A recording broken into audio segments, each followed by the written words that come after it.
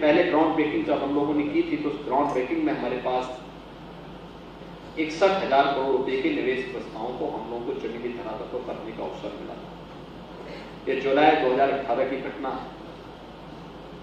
और पिछले छह वर्ष के अंदर कितना परिवर्तन आया है, जब 19 फरवरी को हम लोगों ने प्रदेश का चौथा ग्राउंड ब्रेकिंग का सेरेमनी आयोजित किया था तो इस ग्राउंड ब्रेकिंग में हमारे पास दस लाख चौबीस हज़ार करोड़ रुपए के निवेश के प्रस्ताव का एक साथ प्रधानमंत्री मोदी जी ने शिलान्यास किया।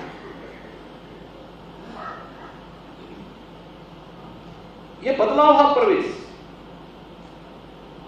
इसलिए राइसिंग यूपी ही नहीं, बल्कि साइनिंग यूपी इंफ्रास्ट्रक्चर के रूप में आज जो यूपी के पास है, आपको कहीं नहीं देखने को मिलेगा। एक्सप्रेसवे जिस प्रदेश की पहचान गड्ढों से होती थी आज वर्ल्ड क्लास एक्सप्रेस वे के रूप में जाना जा रहा है।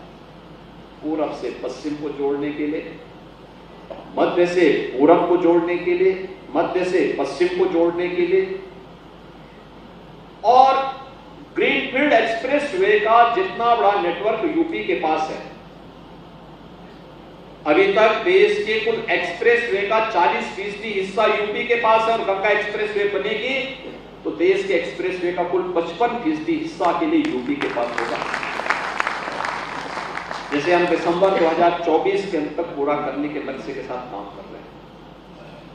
अब जान सकते हैं, जिस यूपी के पास 17 के पहले कुछ नहीं था, वह यूपी एक्सप्रेस वे में आज देश के अंदर 55 फ़ीसदी हिस्सेदारी को लेकर के आगे बढ़ रहा है।